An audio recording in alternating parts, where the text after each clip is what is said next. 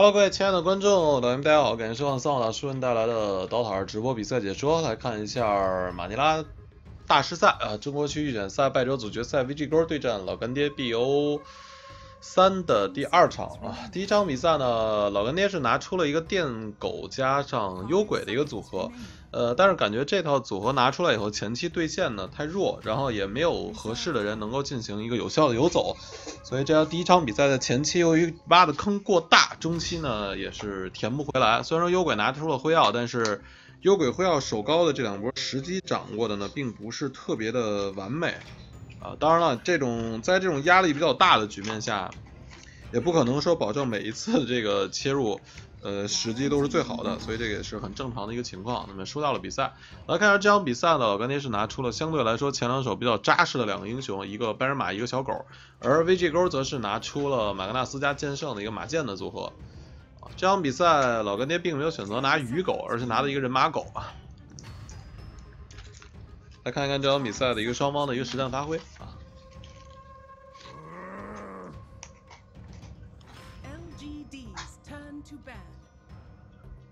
我们来看一下这场比赛双方的第三四手的一个 ban pick。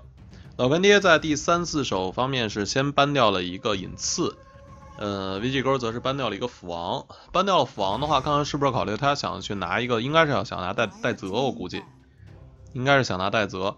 老干爹在最后第四手呢是搬掉了一个拉比克，搬掉拉比克主要是为了防止对方拉比克偷自己的人马大招，这个在后期还是中期团战还是挺要命的一个事儿的。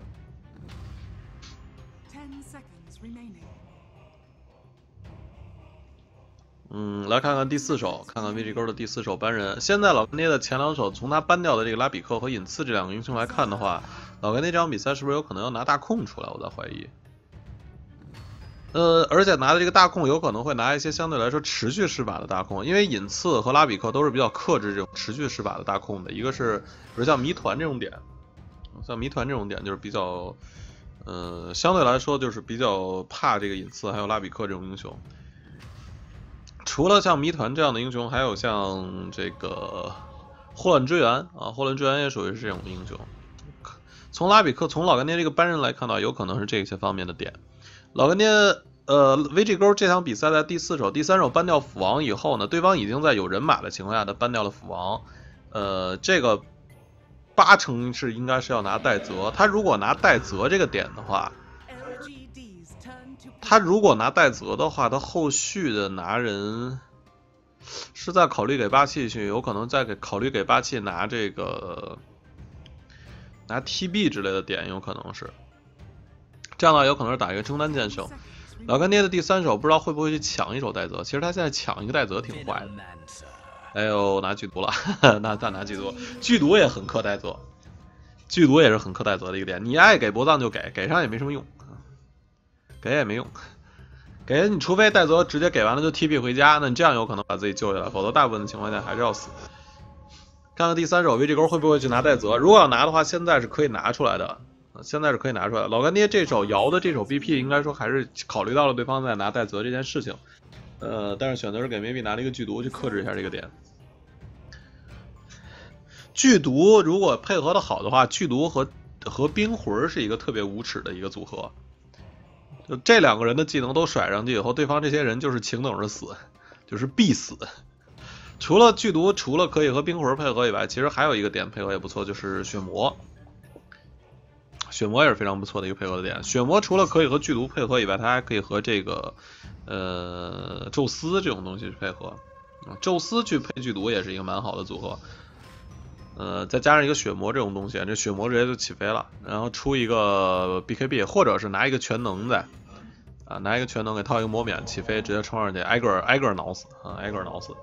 嗯，当然了，这个属于是职业比赛里边还从来都没有见过的这种套路。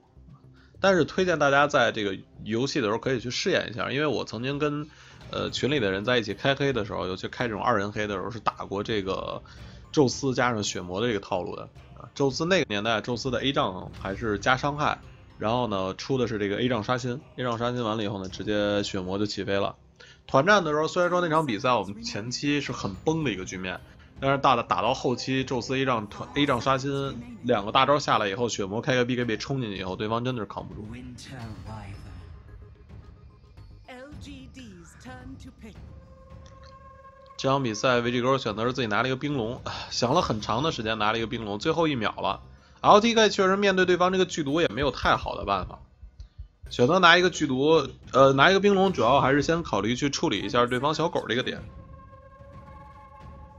小狗这个点如果不处理的话，也是比较麻烦。看看老干爹的第四手拿人，现在对于老干爹来说拿人并不难拿，中单大哥三号位都有了，剩下的两个酱油呢，考虑怎么去处理一下冰龙这个位置就行。沉默自己已经搬掉了，所以拿沉默的可能性不大。呃，不是不大，已经没法拿了，已经没法拿了。那它后边就是拿两个魔法伤害，有一定魔法伤害的这个点，然后最好是有一定的这个呃无视魔免控制的效果是最好的。霍乱支援是一个选择，这场比赛还有一个可以拿的人是夜魔。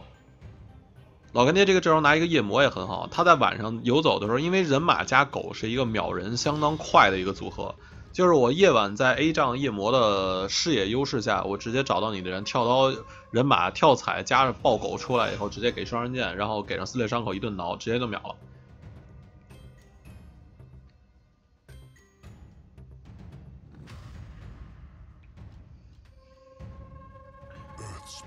第四手是先拿了一个土猫，先拿了一个土猫的话，四号位的土猫，这个应该是维多利亚的土猫，维多利亚的土猫，呃，那最后就剩一个尧帝自己的辅助了。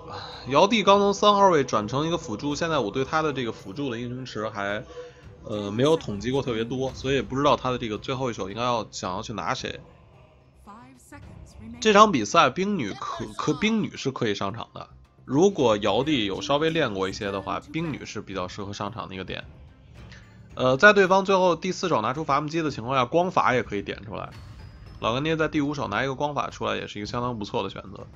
对方这个阵容，VG 勾这个阵容不是特别怕光法，呃，克制伐木机、克制马格纳斯都不错，致盲去用来处理一下剑圣也可以。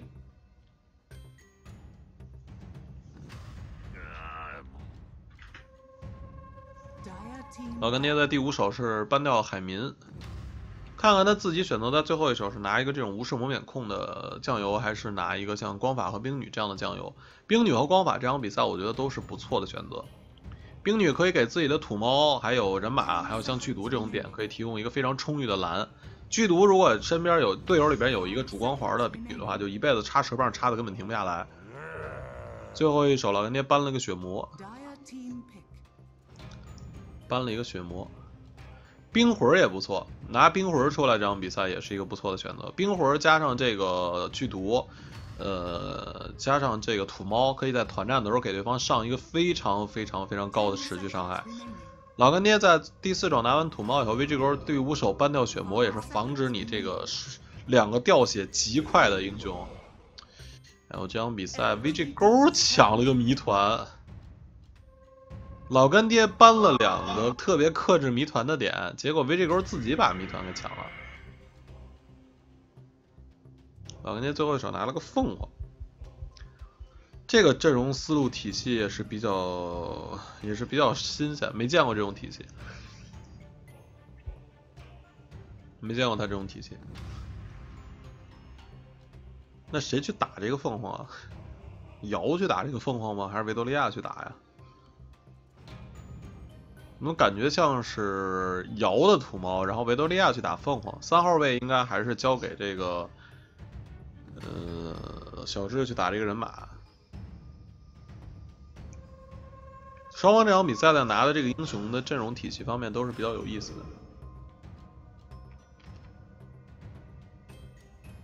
瑶的这个 BP 啊，也是开始行云流水了。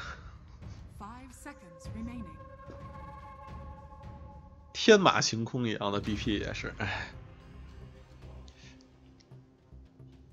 感觉有可能是维多利亚。不过维多利亚的土猫其实打的蛮多的。这个凤凰老干爹现在这个阵容里边谁会用凤凰，我还真不知道，没见过他们这个这支队伍打凤凰。谁有这个凤凰的英雄池，我还真不知道。因为这个英雄确实是一个需要练的英雄。你不像冰女，像 Lion、Lion 冰女这种东西都属于是甭管是谁，刚一上来你教学个一个小时都都能打。是吧？但凡摸过两场两次的都能上这个英雄。凤凰可真不是，凤凰这英雄这不练真不。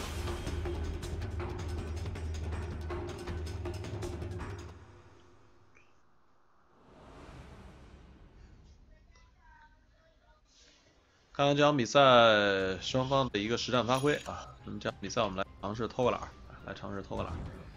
嗯，这个用一个别人的解说啊，用一个晃的不是特别厉害的解说。这些这些疯狂切屏的这种的，确实他又用了顺滑 OB，顺滑 OB 又疯狂切屏，特别容易晕。我们用这个人的试试啊。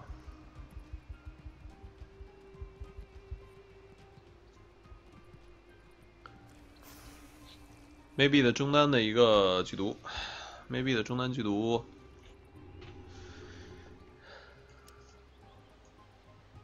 门装方面选择的是系带两树枝，对手养一吃树，算了，还是自己切吧，还是自己切吧。八七的剑圣自己在这个上路这个位置，并没有人过来抢符，尧帝的啊，尧帝的凤凰。还是让尧帝去打那凤凰，那看来尧应该自己这个凤凰应该是练过，应该是练过。我确实没有研究过他们这个队伍里面谁练过这凤凰这个英雄，但是从他最后一手拿出来这个英雄，而且是拿给自己的，看来这个英雄应该是练过一段时间。LTK 的马格纳斯刚一上来是在这个位置插了一个风野的一个保半风野半保护的这么一个眼位。现在这个版本出来以后，就是这个风野眼的位置，一般来说都不是特别好找。像这个七点零刚出来的时候，这个眼位就是你这儿放一个眼是可以封掉这波野，而且可以提供这个神符的视野，而且可以提供这块一大片的视野，是一个非常完美的眼位。但是现在这个被改成了只有这么点儿，你现在封野就是最完美的就是封在这儿，但是这儿只能插真眼，插假眼的话呢，视野特别小，基本就等于没有视野，因为正好卡在两棵树中间了。后边是墙，两边是树。呃，有观众说让观观摩一下这个至宝剑圣，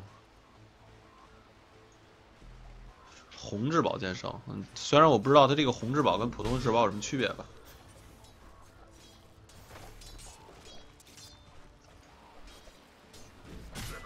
对线方面，上路是小智的人马跟对方的剑圣是对单的一个情况，下路是 FY 的一个谜团。LTK 的这个马格纳斯，谜团估计应该不会一直在线上赖着，过一会儿应该是会选择去打野，maybe 中单去打 Freeze 的这个伐木机应该是比较轻松的，应该是比较轻松的。剧毒这个英雄在前期他只要把自己的这个被动的等级补得高一点，就被动他的被动加上他这个毒，掉血的速度是远远比这个这里土猫滚过来给一个激光，LTK 这里直接撞走。上路两个人好像还拼了一会儿，好像拼了一下。这小智赶紧吃个药。对方剑圣也并没有，剑圣并没有开转，并没有开转，这血怎么掉的？对线对的太凶了呀！扛兵扛的，我估计可能是他想，可能想用自己的这个皮。看这个兵线的数量来看的话，应该是用这个皮撑的。分队在这里也是拉了一波野，把这波野全给补掉。分队的冰龙这场比赛有可能会成为团战的一个非常转折的一个点，因为他们这个阵容是一个纯团战大招流的阵容，而且特别容易打出来。冰龙的这个大招比马格纳斯他们这些大要容易出，而谜团这场比赛他的大招更好放，因为他可以等让这个马格纳斯把人推回来。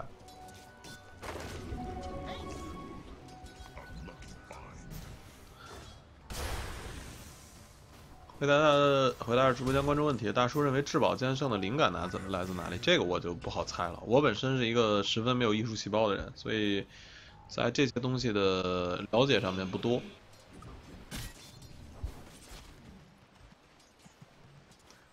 马格纳斯下路的补给已经没了，看看要不要再去耗一耗。尧帝这个时候如果发现对方没有补给的话，应该是要稍微耗一下，对这个马格纳斯，直接把他逼出兵线就完了。这打几下给个激光，你现在就是你还有补给，他没有补给，你把他的血量耗光，然后让他去吃圣坛，他吃完圣坛以后，你再压他一波，这个马格纳斯就必须得走了。土猫这一滚撞到，给激光，这顶出来了一个土猫，土猫一脚踢，把 LTK 直接给打波。那么这 LTK 要去吃圣坛了，他吃完圣坛以后，你再用技能跟他换一波，你自己身上的补给还很多，你再换一波，他就上不了线，他就必须得回家。然后让他补不到刀，直接回家，或者只能在塔下吃经验的话，让他只让他没有办法去补经验、补经济，他就很长时间都拿不到自己的关键装，或者包括他的打野爪都做不出来。塔下刀全给他反补了，两个酱油还是压的不果断。LTK 这个点，其实咱们看了这么多天的比赛，LTK 这个点就是他的经济如果好的话，这个家伙特别厉害。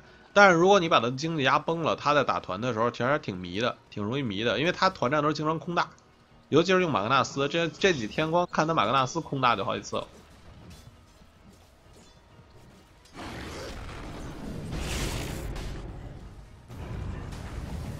这里马格纳斯，这里看一下，给一个激光，这条石头预判了一下，他没有预判到，你看就这样压两次，他就崩了。这马格纳斯就得回家了，他现在，他现在必须得回家，不回家的话，他现在完全打不了。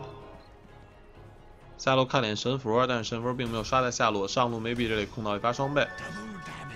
人马呢？人马从打野的这个装备来说的话，他比这个马格纳斯打野装备要求要低一点，他只要有防御装就行了。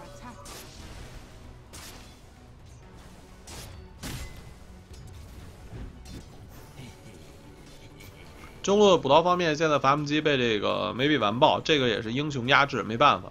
maybe 这场比赛他只要前期的技能选择的是一二对点，这个伐木机就不可能打得过剧毒。剧毒耗你的血，他不需要一直 A 你，A 你一下走人就完了，等着就你被毒就可以了。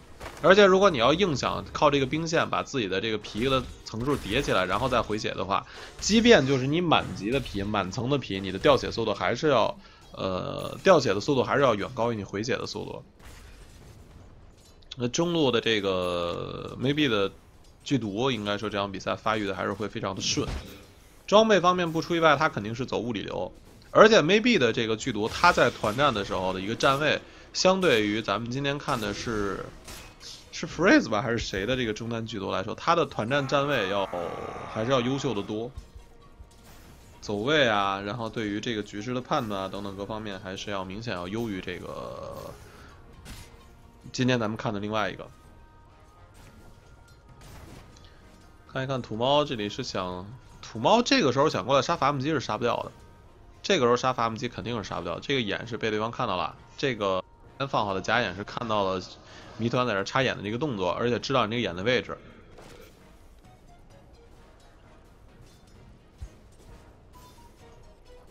AME 的小狗目前补刀排在全场第三。可以看到中路 maybe 的这个反补啊，三十八杠二十四的一个正反补，这是个中路英雄啊，这是个中路，这不是优势路放单的大哥，这是个中路英雄。等级方面压制了 Freeze 两级，这里看看这条石道，踢晕可以直接杀，踢晕就可以直接杀，踢晕就死了，走不掉。哎，这个棒子棒子 A 掉，棒子 A 掉，接着这里开一个转，Freeze Freeze 肯定要毒死了，维多利亚这儿能不能逃得掉？走不掉了。这个 A 棒子的动作稍微慢了一点，早一点 A 掉棒子的话，应该是可以直接走。AME 这里那开狂暴挠，LT 这里直接推走。AME 这扛兵了，吃一个大药，给大药转移一下塔的仇恨，还好这波还可以。一二技能对点的这个剧毒，在六级的时候单杀对方的人，如果这个人不能马上 TP 回家的话，就是个必死。下路 LTK 也是被瑶帝支援过来以后呢，配合小狗直接形成击杀。土猫这里控到了一发隐身符，这个眼还没有反，这个眼其实是知道的，但是还没有过来反。土猫应该还是在找机会，看看要不要过来杀，应该是杀不了，应该是杀不了。这个土猫现在不要上，应该是杀不了，没有大。这里给一脚石头滚过来，配激光输出，看看够不够，还是不够，该走要走。瑶弟这里赶紧飞走，这两个塔 A 上来两下，这血掉的有点狠，差一点，差一下就死了。凤凰这个英雄是全游戏护甲最低的英雄之一啊，最的最低的英雄之一。我忘了，我印象当中为什么会有一个，我不知道为什么我印象当中有一个英雄初期护甲是负一。我我我不知道是我出现幻觉了，还是说哪个版本？我记得好像刀在一的时候，我忘了是是我记错了，还是是零还是负一？反正我记得有一个英雄初始护甲是负的，是零还是负一？还是死灵龙是吧？死灵龙也护甲，反正也够低的。这这哥几个差不多。看看伐木机这波直接勾走，没有大剧毒，虽然没有大，但是仍然是可以把这个伐木机压的根本就出露不了头。这个剧毒满级的被动掉血速度太快了。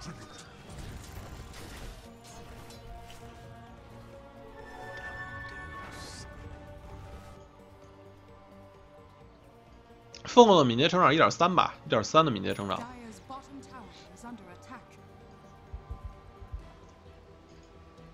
他是凤凰也是最低的英雄之一。你看那个凤凰现在四级了，护甲还是零，他四级了还是零。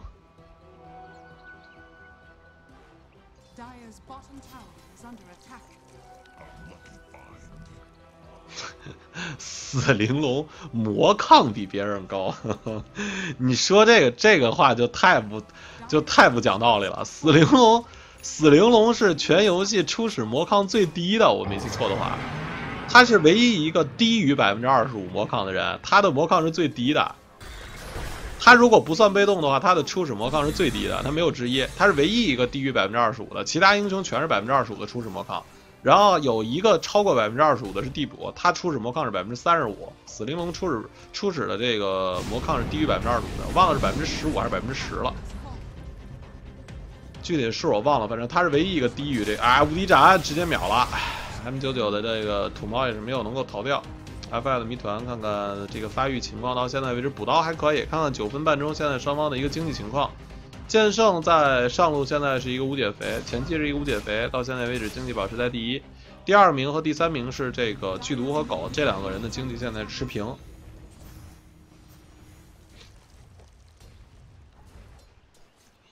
小小的护甲之所以就是不是特别多人所诟病，是因为小小起码他还有个技能，呃，他有一个崎岖外表，可以给他加点护甲。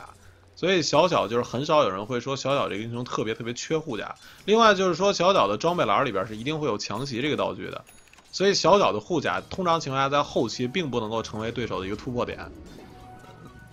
但是像这个像什么凤凰啊，什么这个死灵龙啊，死灵龙是有个被动，然后呢，呃，凤凰可以变个蛋，所以大部分时候你也不用太多的去考虑的护甲，你只要考虑自己这个蛋能不能回来就行了。啊，剧毒这里知道对方这儿有针眼啊。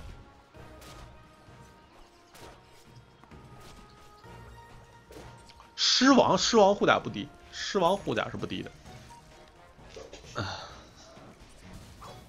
狮王可不是一个缺护甲的英雄。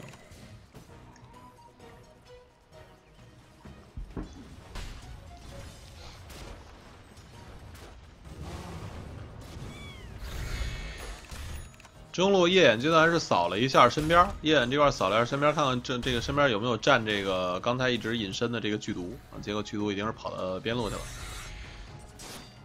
现在双方是进入到一个和平发育的一个时期，这种和平发育应该会持续到人马的跳刀和小狗的这个，哎，小狗这个时候看一下这个激光，谜团这个大招被秀掉了。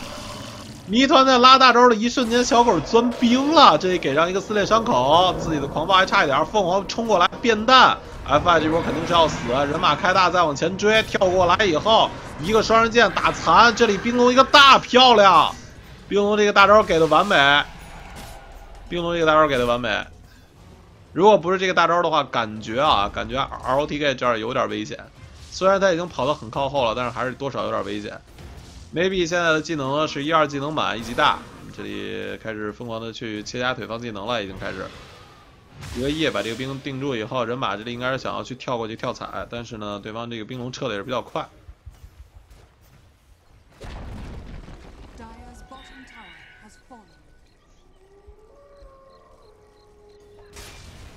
八七胜现在身上的装备是一个相位加上单刀，不知道下一阵准备出什么。看看 Phrase 的伐木机这场比赛的发育也是比较捉急，前期被这个剧毒欺负的太惨了，到现在为止经济只排在第六名，三千三，对方的剧毒则是四千七，差了一千三、一千四五的经济。哦，一滚走，一脚有没有石头？没有石头了，要被剑圣单杀了，要被剑圣单杀了。哎，哎，哎不是不是你都砍着他了，你这大招呢？你有大呀！刚才我眼看着有大呀，这为什么不杀了呀？突然，滚也用过了，你直接把他杀了再走不就行了吗？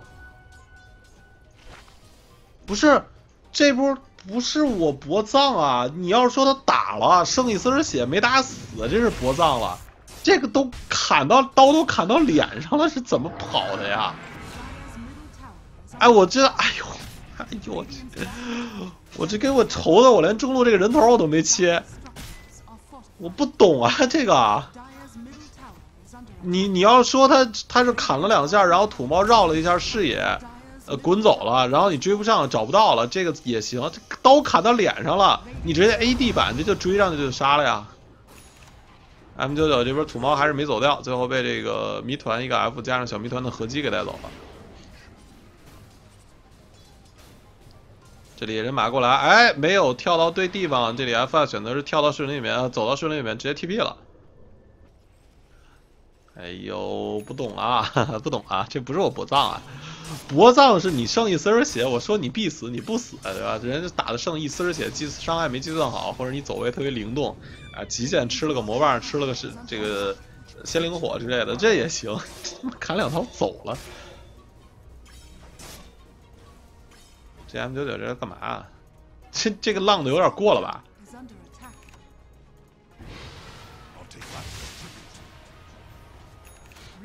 ？？M 级的经济现在已经是落到了第七名啊，已经是被 LTK 给超过了。LTK 其实这场比赛的刷钱环境也并不怎么好。看看下路，这个土猫站在树林里边，对方要不要进来找？上路塔是被 ME 给挠掉，这一个扫描扫到了，扫到了这个维多利亚的土猫，看看对方要不要过来。这几个人好像是不想过来打。老干爹现在的团战就是尽量避免跟对方开一波团，另外就是团战的时候 M99 的这个土猫很关键，他第一时间绝对不能冲进去，除非你打先手，你一上来秒掉对方的谜团或者冰龙或者是马格纳斯其中之二啊，炸秒其中之一都不行，必须必须得秒其中之二。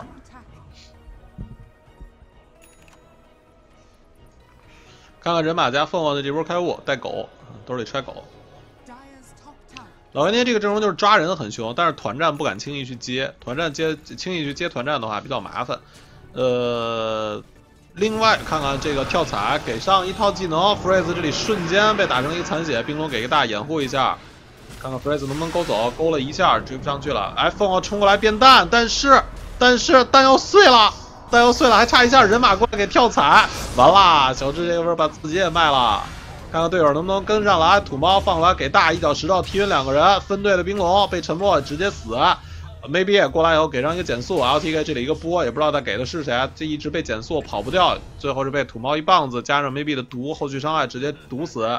八七过来以后手里边有大招，但是好像并没有反打的意思，一直被这个小蛇棒的减速追不上。一直在被减速追不上，好多的蛇棒，再拉回来一个沉默，土猫一脚石头踢晕，谜团一个大招拉住两个人，Fries 过来给一套输出，maybe 临死之前放出了自己的大，但是没有给其他的毒伤害，这个没办法毒死，没有办法毒死，这波 FI 这个大招亮了呀，一脚石头想踢 Fries 没有中，这里凤凰过来两个火焰精灵，再加上一个激光，Fries 这里还差一下没有死。身上只有两层的皮，土猫滚过来以后，直接想要杀死对方，这个伐木机还是没有成功。马格纳斯追过来带走土猫，这波老干爹是葫芦娃救爷爷，葫芦娃救爷爷呀！这波被 VG 哥打了一波三万五，五个人全灭。哎呦，这波团战应该说谜团这波立功了，这一个没有跳刀的谜团抓到这么一个完美的机会拉住两个人，这个太关键了。伐木机这波真的是起飞了，感觉他们在上路这个位置啊，协调没有协调好，就是在凤凰往上冲的时候，自己的队友没有跟着一块上。如果他们在团队执行力上能够统一一些的话，这波团不可能打成这样。就如果当时他们是所有的人一块往上冲，配合这个凤凰的变蛋，刚才这波团绝对是 VG 勾要要团灭的一个节奏。然后他们在撤退的时候，撤退的方向也选择的是有一些问题，maybe 的这个撤退方向，还有自己的队友掩护的位置没有选好。呃，感觉这个老干爹这支队伍打了这么长时间，这些人在一起还是不够默契，还是不够默契。你但是你看 VG 勾，VG 勾很少会出现这种情况，为什么？因为 VG 勾在打这种团战的时候，一定会有一个声音在旁边统帮你统一思想，一定会有一个声音帮你统一思想。你带三层隔音的耳罩都没有用。老干爹感觉现在就是没有人敢这样去吼。老干爹的他舰队围绕是围绕 maybe 在舰队，但是 maybe 并不是一个，就是说像 LTK 那样的人，对吧？他不像你说你要你要啊刚才那一波，刚才那一波假设如果是 VG 勾去打的话，刚才一定会有一个人在那怒吼，给我冲！留谁说话？老子都变蛋了，你他妈还不上？你家里有事儿？那绝对是绝对是会出现这种情况，那不可能会出现说刚才这种就是猫上狗不上就这种情况，这不不可能的，绝对不可能。老干爹这个队伍还是，就这个队伍的天分没问题，但是他们做为什么一直说这支队伍缺一个大脑的原因就在这儿，他没有人去统一思想。这支队伍如果能统一思想的话，会很强。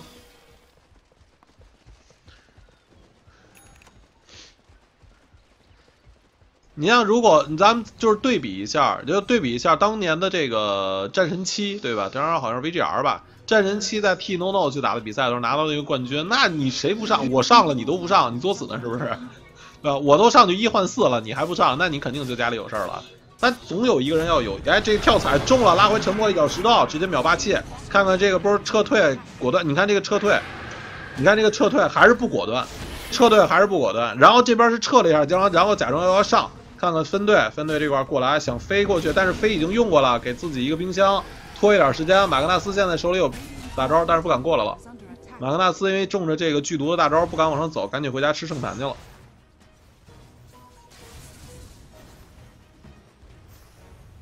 老干爹这波团战打完了以后呢，是占的便宜比较多，而且剧毒现在等级很高，已经有了三级的蛇棒，推打的速度也可以提起来一些了。魔龙枪加上电锤。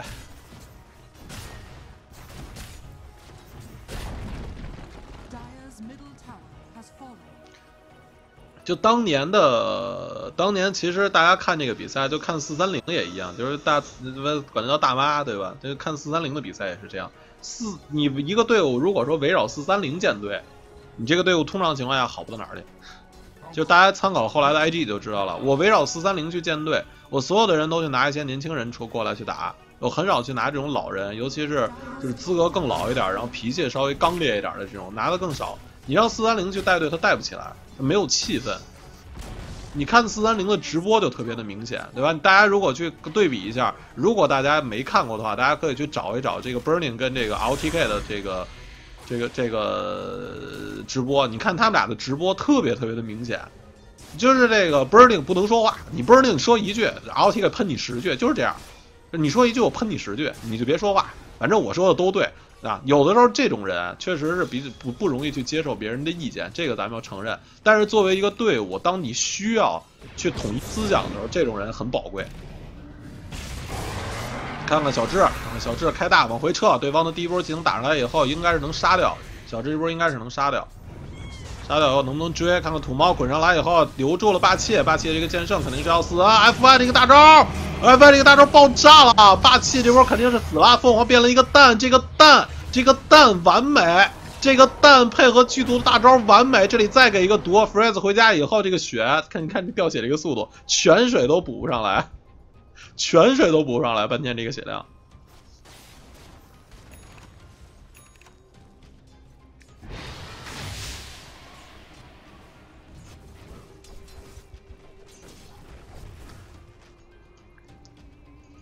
我就记得我有有几次看这个这个这个 Burning 和那个老怼他们俩人的直播的时候就是这样。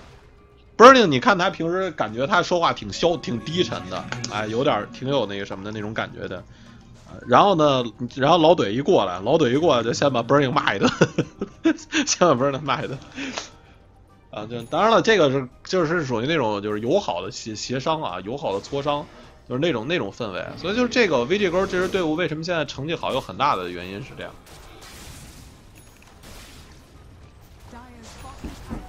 看看老干爹这波推对方的下路的二塔，驱毒现在的一个输出已经是打的比较高了。经济方面，现在 AME 的小狗全场第一，maybe 第二。这场比赛其实双方拼的都比较凶。呃，经济方面的成长现在都不是特别的理想。看看人马还没有到，不过人马现在手里有大招，中路不要露线，中路人马不要露线，露线对，哎，你不要露线，露线对面知道你人少，露线对面就知道你人少了，霸气自己过来推中，直接放弃了去推对方下路高地的一个想法，人马不在，这一个跳打清一波兵线。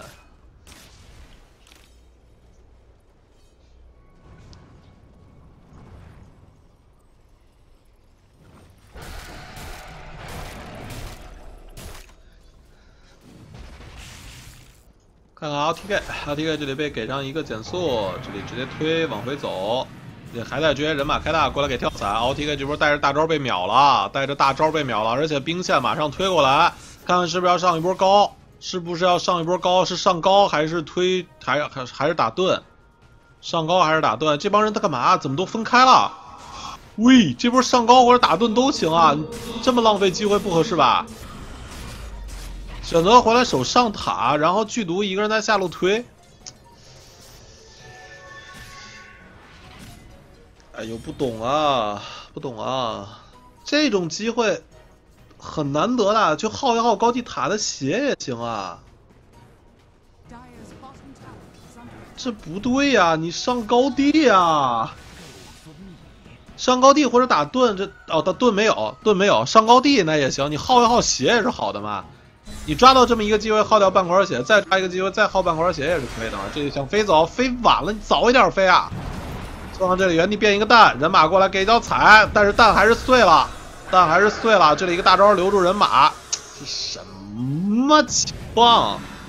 什么情况？这里顶过来以后，谜团一个大招拉住两个人，一脚石头 T N F 1跳过来放大给沉默。M 九九的这波土猫爆炸了，这个技能给了，直接留住对反杀对方两个人。剑圣无敌斩给到了人马身上，人马这里开一个大招，有 A 仗很硬。剧毒赶到战场，一个大招定住对方的伐木机。小狗这里一个撕裂伤口，留住霸气，一脚石头踢晕。冰龙给一个冰箱。这里鸡鸡啊、不是鸡是棒子，棒子被杀，棒子被 A 掉以后呢，这里小智被伐木机收掉。AME 咬死了霸气以后，再留住一个 Freeze 的伐木机上高啊！这波上高了，这波真的是上高了。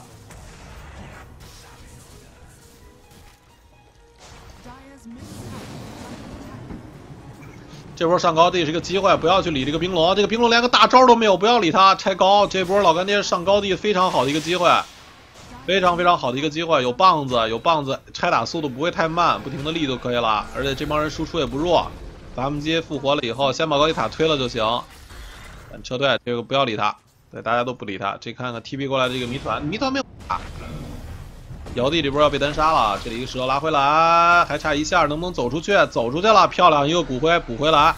这波 FI 的谜团又死了，FI 的谜团死了，FI 的谜团又死了，可以集结人众把对方的这个圣坛拆一拆了。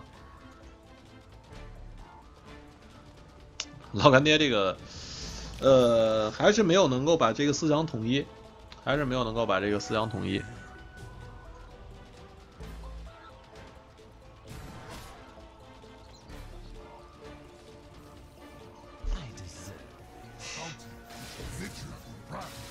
感谢越抹越赢，纵纵六六六。这场比赛打成现在这种情况也是 不容易啊！老干爹这场比赛打的不容易啊！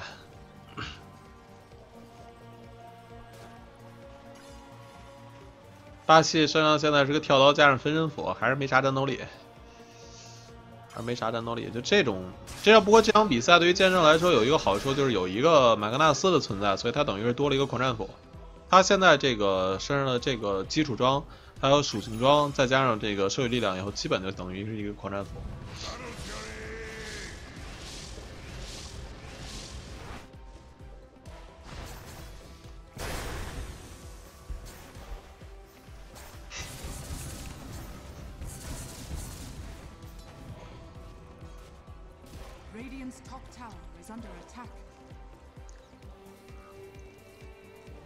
大家看一看这场比赛双方接下来的一个剧情啊，看一下接下来的这个剧情。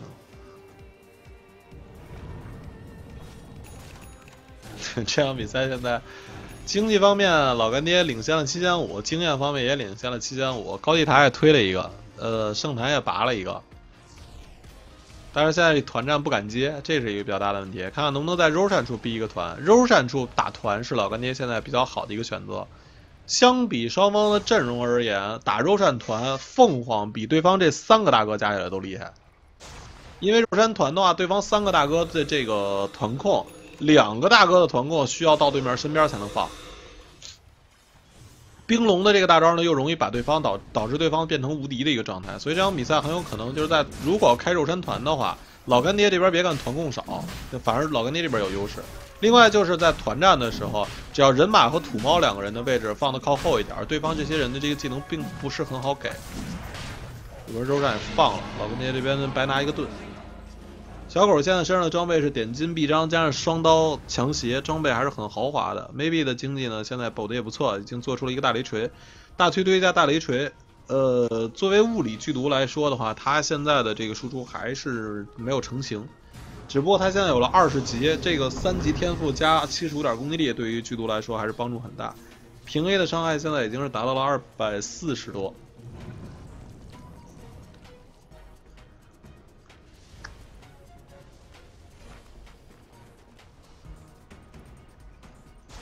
剧毒现在的这个护甲和血量其实还可以了，作为一个远程英雄，他这个血量护甲可以接受。看看是不是要开雾。哥仨过来看一眼对方这儿有没有粉儿，有没有眼？没有眼，直接开一波雾。那么下路这个地方有一个 freeze 伐木机，伐木机想要去找这，哎，这帮人是在干嘛？这帮人是要下来去蹲这个剧毒吗？这要蹲剧毒的话，有可能要把这个伐木机蹲死。哎，伐木机露头了，伐木机露头了，勾过来直接选择 TP，懒得理你了。但是你这个雾的时间浪费的有点长啊！你这个三个人带着狗一波开雾。在自己家野区里边转了半天，这雾时间到了，等到对方半场的时候，雾雾已经到时间了。你这什么剧情啊？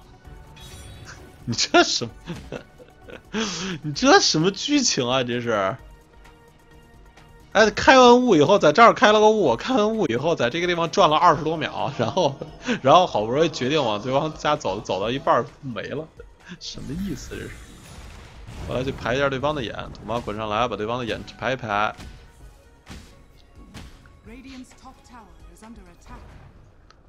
凤凰的护甲在十五级的时候，基础护甲终于是有了两点的基础护甲，加上装备五点基础护甲，连一个强袭都减光了。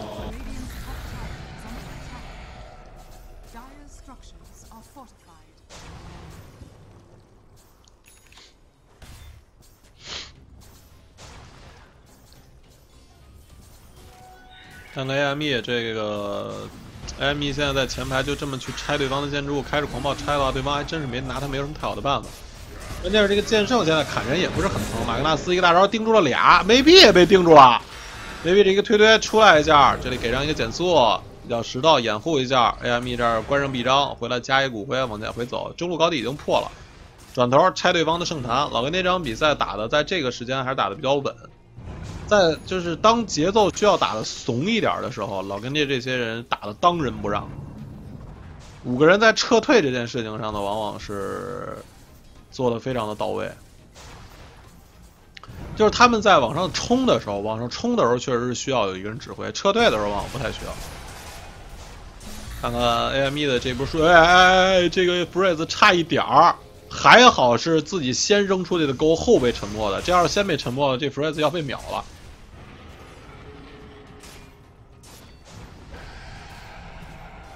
剧毒现在是二十二级，还没有到达二十五级。这要是二十五级升一个三倍蛇棒出来的话，这个就更吓人了。看看这里想要去打掉这个盾，这个盾往里推一下，然后尽量让他的这个盾往里头放一点儿。这样凤凰应该是准备冲进去变蛋了，应该是准备冲进去变蛋了。人马给大不？人马给不给大？没有给大，直接是自己开狂暴，把塔摸摸没了以后，直接自己撤回来了。剧毒一个人在这个上面接着插蛇棒，就是不让你跳刀跳出来，就是不让你跳刀跳出来。撤退，五个人现在撤退。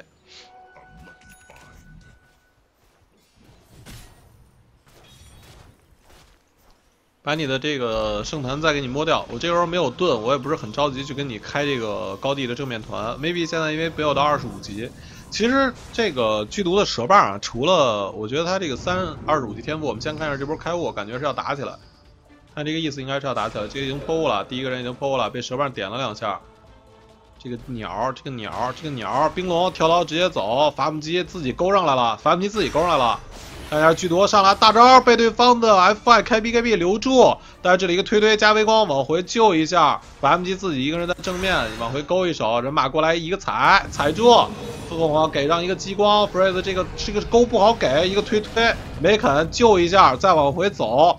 ，AME 往前追了一下，逼了一下对方的走位，双方是互换了一波小技能，只有剧毒交了一个大，土猫也交了一个大招。但是呢，双方都没有留住人。老干爹这个时候如果是稳一点的话，应该选择撤，等一下自己下一波技能的 CD 了。等一下下一波技能 CD 揉上可以不等，看看对方还是要上，还是要上。这种上是比较容易黑的，看看老干爹怎么能不能把这个节奏把握好。这个小狗现在的这个血量什么都没干就被打掉一半了，直接选择撤退，一边走一边回头插蛇棒就好了，一边走一边回头插蛇棒。就是不让你有跳刀的人追上我就可以。看一下买活，现在买活方面，小狗除了剧毒和马格纳斯还有冰龙这三个人以外，其他所有人都有买活。这里人马过来开雾，人马带狗一波开雾，直接选择撤退。对方也是一波开雾，这波开雾应该是要决定胜负的一波了。从视野方面来看的话，是老干爹还是占有一些优势。看看这个破雾是谁第一个破雾，两边。擦肩而过，两边谁都没找着谁，谁都没找着谁。这里天辉和夜眼都放了一个扫描，都没扫到人，都没扫到人。看看老干爹这边是不是准备强拆？嗯，准备强拆。强拆的话，你就顶着塔拖塔保护拆就行了，你输出足够高的。对方两张 TB，两张 TB 回来，那么把你吓回来我就走。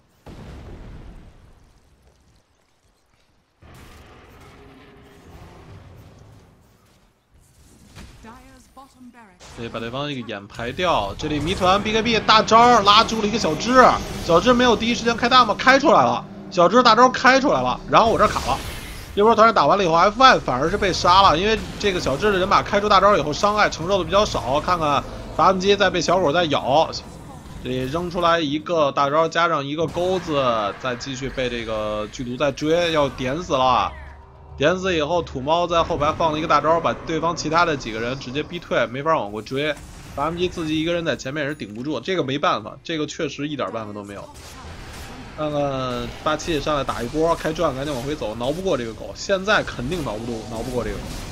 远程兵营，maybe 这个地方在不断的点，点掉以后，凤凰在后排给一个激光，人马看看有没有机会去跳踩一个。下路的高地塔应该是给了。马格纳斯现在手里有大，冰龙没有大。然后伐木机死了，谜团也没有大，在这种情况下，你想要去守这个高地守不住的。LTK 这里推回来一个人，想要，但是没踢，没有推到。这里剑圣上来砍两下，人马再开一个大招往回撤，所有人直接往回跑就行了。那这场比赛就被耗死了。剧毒这已经是做出了自己的大炮，有攻速，有攻击力，有射程，有暴击。现在这个剧毒的输出已经成型了。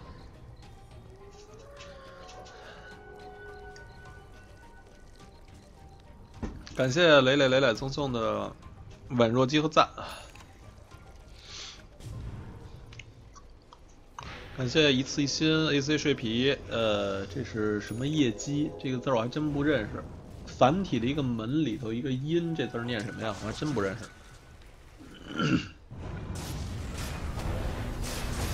哎，这个位置看看剑圣，剑圣这个位置很难跑，老怼这个大招又在哪儿放了呀？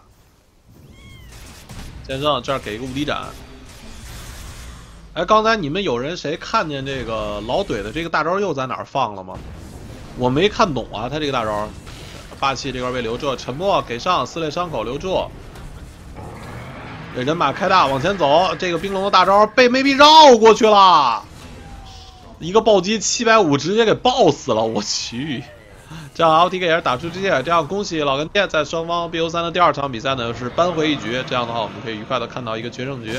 好了，这场比赛就给大家做到这里，我是三好大师，如果大家喜欢我的视频呢，欢迎大家订阅我的频道，也欢迎大家能够拿出手机打赏一发，非常感谢各位观众。那么 QQ 群是五二幺零幺七幺五三，那么大家如果愿意提前知道预告，呃直播预告和节目预告的话，欢迎大家加 QQ 群。好了，就到这里，我们下期节目再见，感谢各位。